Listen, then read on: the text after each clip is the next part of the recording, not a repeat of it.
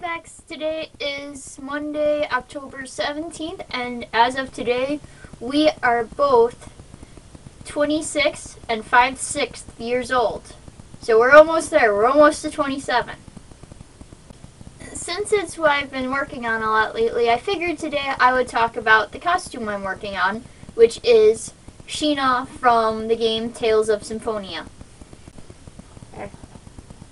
Sheena. Oh gosh. This is a big mess of stuff.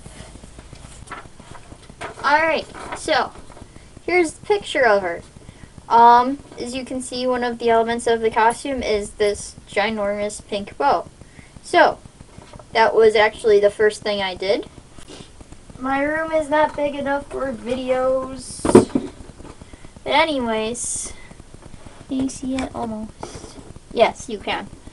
To make this bow, I actually used a tutorial that I found on the cosplay.com forums.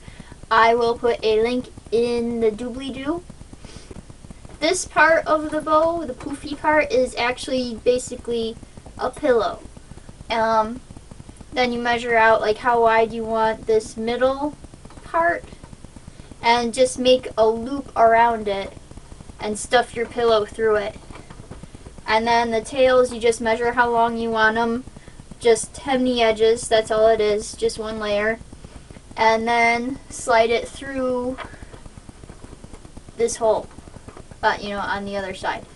And so that's all that was. Um, it was pretty easy, and you know, now I want to do someone who has an even bigger bow so I can have like a good sized travel pillow for my costumes, because that just seems pretty cool pants are self-explanatory. They're black pants. Shirt is a shirt. Then we have this sort of kimono part and some gloves. Alright, for the kimono itself, I use pattern 5343 from Simplicity, which I don't think exists anymore. But there you go. So I'm glad I bought that who knows how long ago.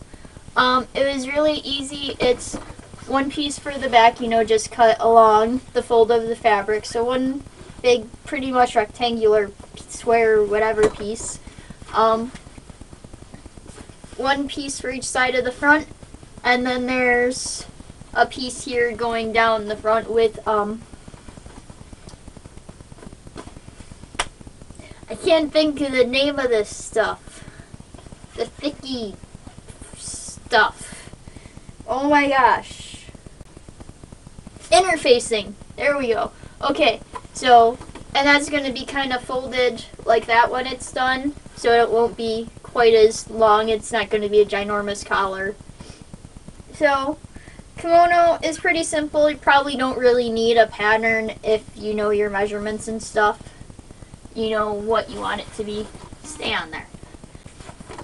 As for her gloves, a lot of people opt to do like the gloves as, you know, just like arm warmer kind of things.